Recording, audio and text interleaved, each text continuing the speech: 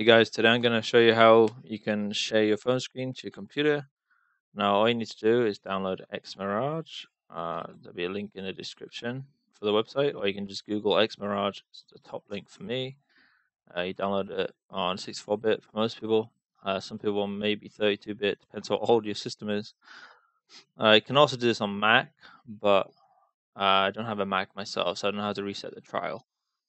Anyway, once you've downloaded that, it'll come up with this trial. You get seven days. Um, so you just click continue. I'll show you how to set it up, and I'll show you how to reset the trial. So once you've continued,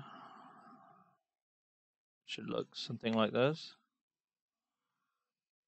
Uh, you can change the name of your cast. You can change which device you have to optimize it. now, all you got to do on your phone, if you're on an iPhone, you have to swipe down and go to screen mirroring. Make sure you're on the same internet connection. Now, to do this on Android, you will need a screen mirroring app. Uh, I've been using All Mirror. Basically, you just click connect on the app, and then X-Mirage will pop up. You click on it, and it connects to that as well.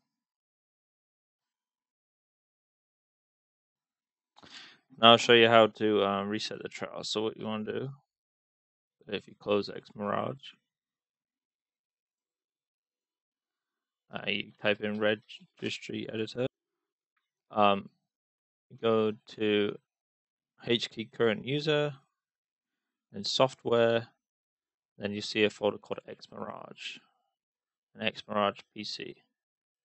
Now, the one that says test, you can delete that and then if you open up X-Mirage again, as you can see, the trial has reset. So basically, you could just keep using this over and over again. All you have to do is open up registry editor and delete that one folder, and you'll have the full trial again. Um, anyway, hope this helps. Thanks for watching. See you later.